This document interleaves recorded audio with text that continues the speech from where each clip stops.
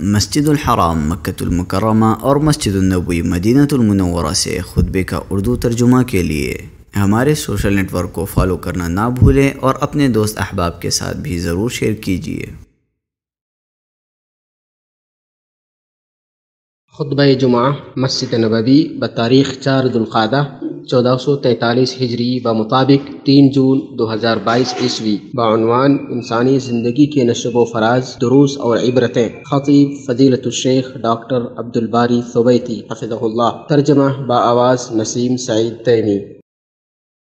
अल्लाह रब्बुल आलमीन की तारीफ़ है, जिसने हमें अपनी इबादत व बंदे की तौफीक अता फरमाई। मैं गवाही देता हूँ कि अल्लाह के अलावा कोई मबूद बरहक नहीं, जिसका कोई शरीक नहीं, और मैं गवाही देता हूँ कि मोहम्मद सल्लल्लाहु अलैहि वसल्लम उसके बंदे और रसूल हैं। अल्लाह रब्बुल आलमीन उन पर बेशुमार दुरुद सलाम और बेशुमार रहमत नाजिल फरमाए और उनके तमाम असहाब और उनके तरीके पर चलने वाले तमाम लोगों पर अल्लाह की रहमत नाजिल हो। इर्शाद बारी ताला है, अल्लाह ताला ही है जिसने तुम्हें कमज़ोरी की हालत में पैदा किया, फिर कमज़ोरी के बाद कुत अता की, फिर कुत के बाद तुम्हें कमज़ोर और बुढ़ा कर दिया, जो चाहता है पैदा करता है और वही जानने वाला कुदरत वाला है। कुरान की सात करीमा ने इंसानी ज़िंदगी के मुख्तलिफ़ मराहल की तस्वीर कशी की है। कमज़ोरी फिर ताकत, फिर कमज़ोरी, यानी बचपन, फिर जवानी, फिर बुढ़ापा। इन मुख्तलिफ़ मराहल का मुशाहदा हम अपने इर्द गिर्द के लोगों में और अपने अंदर करते हैं। और इन तमाम मराहल में इंसान को दाइमी कमज़ोरी लाक रहती है, जो कभी उससे अलग नहीं होती और ना उसका साथ छोड़ती है। वो ना अंजाम कार से वाकिफ होता है और ना ही उसे एक लम्हे के लिए भी अपनी ज़िंदगी की बका की गारंटी हासिल होती है और ना ही वो जानता है कि कल क्या होने वाला है। इन तमाम मराहल में पहला मरहला वो है, जब इंसान माँ की गोद में होता है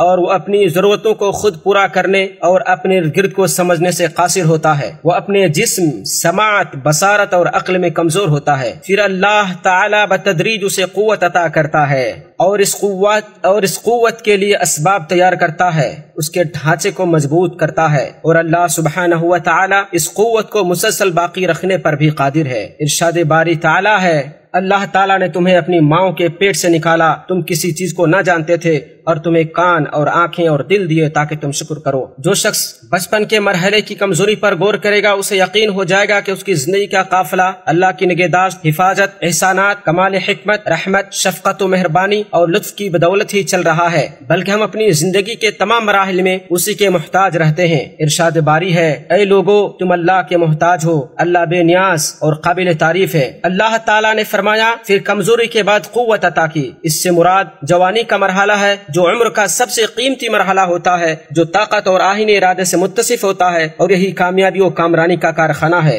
नौजवान से तो होती है, वो अपने कंधे से सुस्ती व कसलमंदी के बोझ को उतार फेंकेगा और मौजी हवादिस को चीरते हुए अजीम कारनामों के लिए हिम्मत हौसला से लैस होगा। घटिया वो बेकार उम्र से किनाकश होगा और अपनी जवानी को हसूल इल्म और नफा बख्श अमल के लिए वफ करेगा।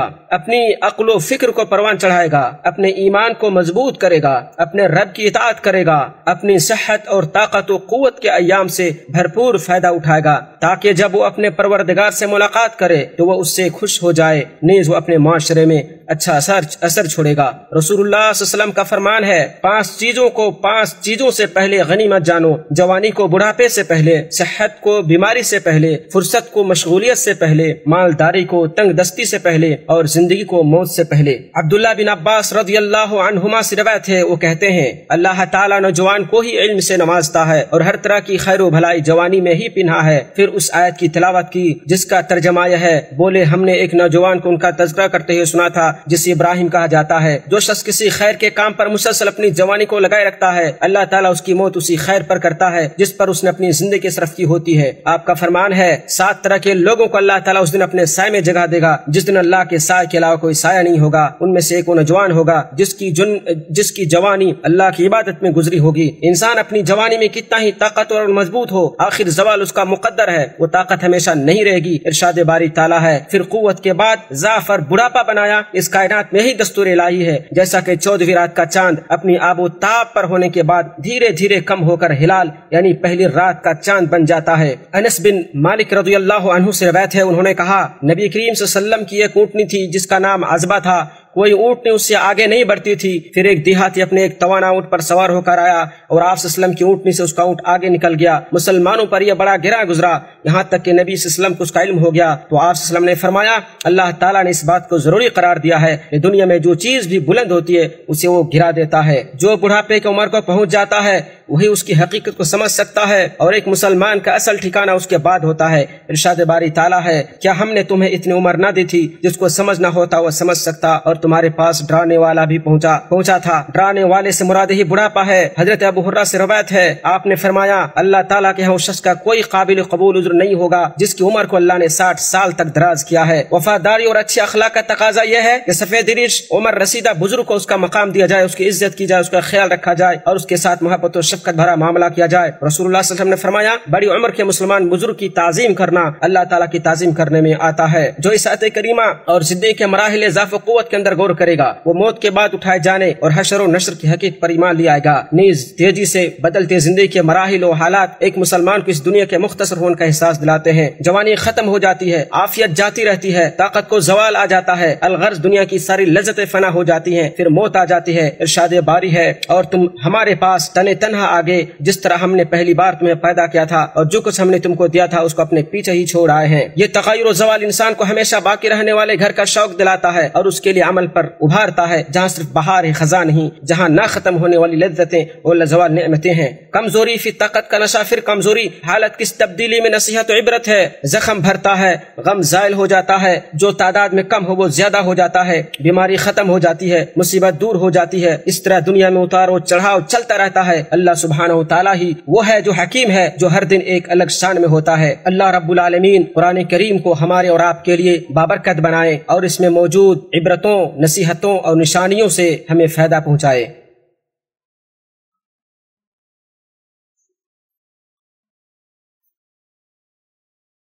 सब तारीफें अल्लाह के लिए है और मैं गवाही देता हूँ। कि अल्लाह के अलावा कोई मबूद नहीं, उसका कोई शरीक नहीं। इंसानी ज़िंदगी का इस्तरार उसका ठहराव अल्लाह की इतात बंदगी ही से होती है। लोग सादतमंद और कामयाब तभी हो, होंगे जब अल्लाह के रसूल वसलम की सुन्नत को मजबूती से थामेंगे। मैं सबसे पहले आपको और फिर तमाम लोगों को तकवा की वसीयत करता हूँ। कि आप हमेशा तोबा को लाजिम पकड़ो। आजमाइशों में तोबा की तरफ़ जल्दी करने और मुसलसल इस्तफार करने के साथ कुत और ताकत में हमेशगी आती है। अल्लाह ताला अपने नबी हूद का तस्करा करते हुए फरमाता है अय कौम, अपने परवरदिगार से माफ़ी मांगो, फिर उसी के आगे तोबा करो। तुम पर मूसलाधार बारिश बरसाएगा और तुम्हारी मौजूदा कुत में मजीद इजाफा करेगा। तुम मुजरमों की तरह मुँह ना फेरो। और मुसलमान को यह कभी नहीं भूलना चाहिए, वो जिस कदर भी कवि और ताकतवर हो जाए, उससे भी बड़ी ताकतवर जात मौजूद है और वो अल्लाह की जात है, जिसने उसे ताकत ताकत क़वत और उसके इसबाब मुहैया किए हैं। और अगर किसी मुसलमान से ज़ाहरी क़वत ख़त्म भी हो जाए तो फिर भी वो कवि ही है। अगर वो सोच ले कि अल्लाह ताला जो कवि और अज़ीज़ है, उसकी मायत मेरे शामिल हाल है, इरशाद बारी ताला है। और हमारे बंदे दाऊद को याद कीजिए, बिला सुबह वो साहिब क़वत और हमारे तरफ़ रुजू करने वाला था। अल्लाह के बंदो, अल्लाह रब्बुल आलमीन ने अपने नबी पर दरूद भेजने का हुक्म दिया है। और जो शख्स अल्लाह के रसूल पर एक मरतबा दरूद भेजता है, अल्लाह उस पर दस रहमत नाजिल फरमाता है। अल्लाह मोहम्मद वाला आल मोहम्मद। अल्लाह रब्बुल आलमीन, खुलफाए राशिदीन, अबू बकर, उमर, उस्मान, अली और तमाम साहब कराम पर रहमत नाजिल फरमा और उनसे राज़ी हो जा। अल्लाह रब्बुल आलमीन, इस्लाम और मुसलमानों को इज़्ज़त और क़ुव्वत अता फरमा। अल्लाह रब्बुल आलमीन, कुफ्र और अहल कुफ्र को तहस नहस कर दे, उन्हें ज़रिए उसवा कर दे। अल्लाह रब्बुल आलमीन, हम तमाम लोगों को खैर की तमाम किस्मों की तोफ़ी अता फरमा। अल्लाह रब्बुल आलमीन, हमारे दर्जात जन्नत में बुलंद फरमा। अल्लाह रब्बुल आलमीन, हमें माफ़ फरमा, हमारी बख्शिश कर अल्लाह रब्बुल आलमीन, तू ही गुनाह माफ़ करने वाला है। अल्लाह रब्बुल आलमीन, हम तुझसे दुआ करते हैं कि हमारी नेमतों को जायल मत करना, हमें मजीद नेमतों से नवाजते रहना।